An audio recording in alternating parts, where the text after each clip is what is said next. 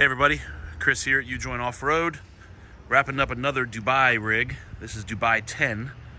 It's an Entegra Esteem 31F.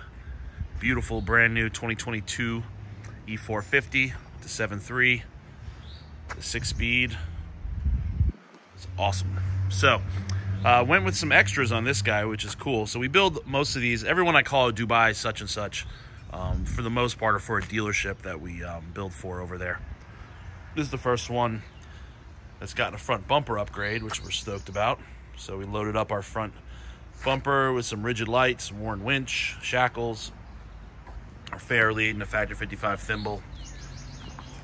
All the goodies. We also swapped out the grill for our black grill with uh, smoke LED amber lights. It's got a six inch lift.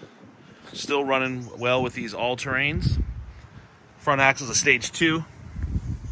As always, 456 gears, Detroit Truetrac, RSC upgrade.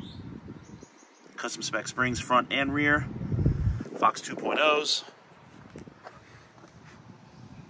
All the usual stuff. Hellwig front sway bar. It already had an aftermarket sway bar in the back, so we just changed the links out for our better link design. And this thing handles like a car. Uh, 285 70 17 Toyo ATs up front on some Pro Comp black wheels. It does have OBA as well.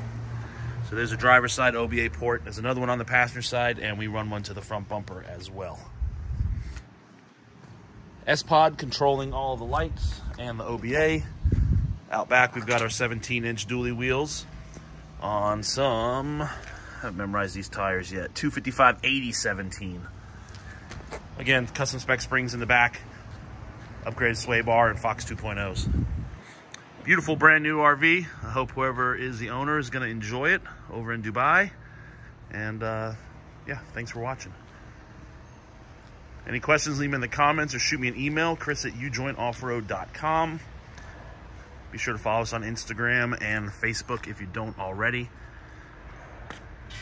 Thanks for watching.